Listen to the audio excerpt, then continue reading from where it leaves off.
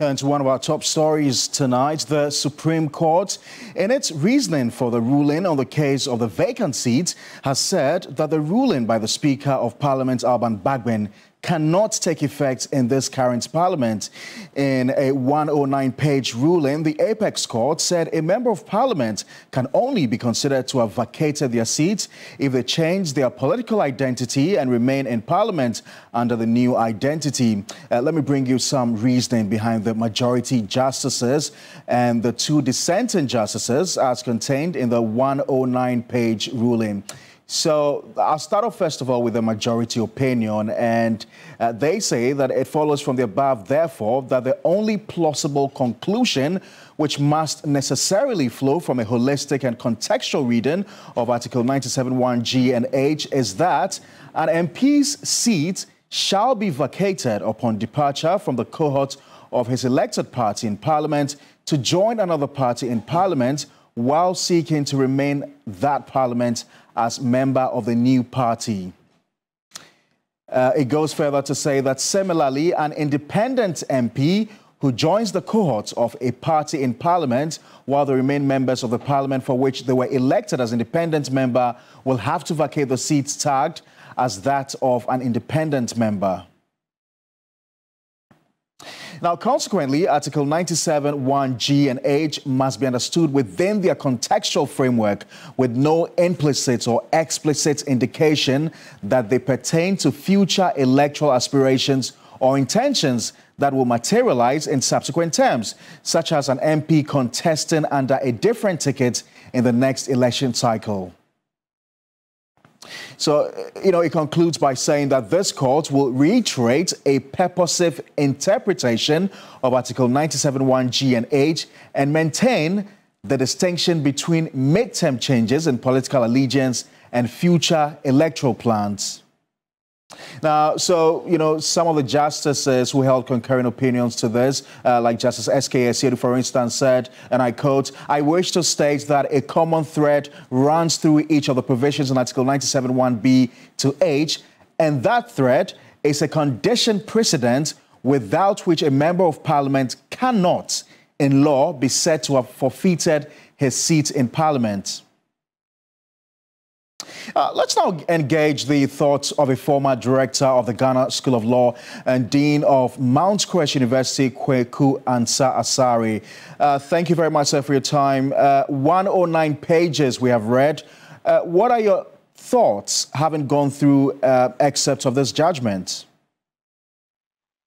Well, thank you very much for having me on your show. My, uh, my thoughts are quite frankly, simple and straightforward in this matter. I still stand by my earlier thought that the Supreme Court did not have the requisite jurisdiction to entertain the matter.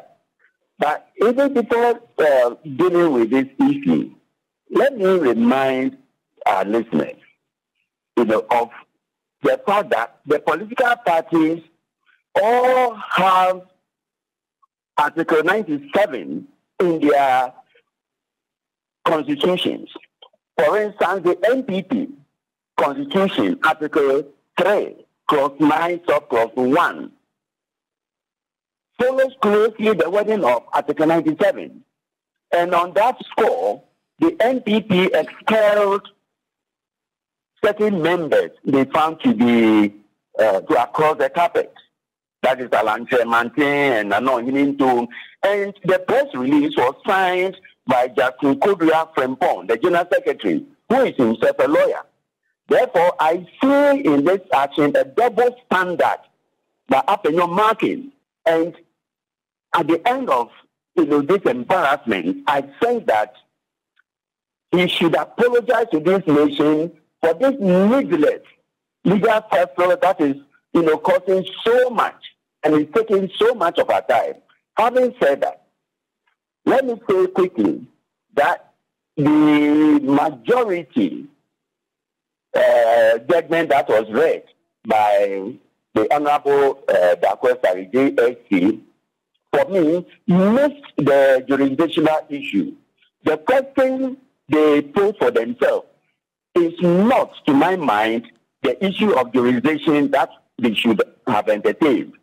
The right frame or the framework was set clearly spelled out by Justice Tanko Amadu, who, who didn't miss any words at all in pointing out that their lawsuits did not have jurisdiction to entertain the matter.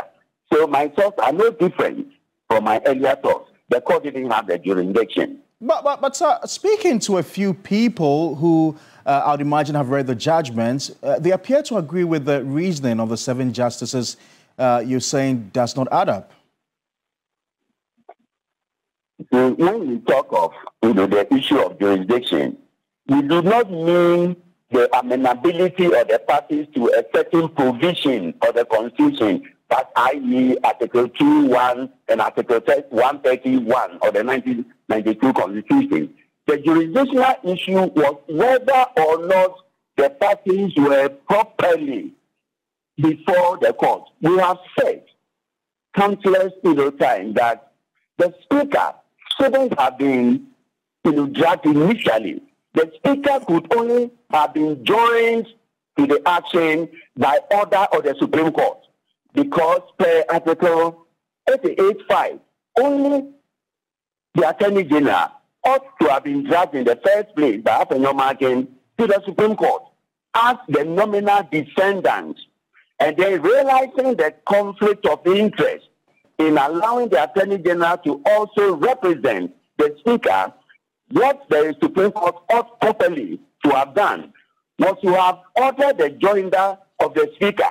And to say that if the Attorney General were allowed, you know, to have uh, the most say in this matter, it will result in the executive bringing a case and you know prosecuting and defending the case itself. This is the point that we are missing. You know, for me, it is not the invocation of Article 2, 1 or 1 For me, the issue is whether there was a defendant on the 18th of October. At the time the application was set ex parte, the Attorney General had not been set.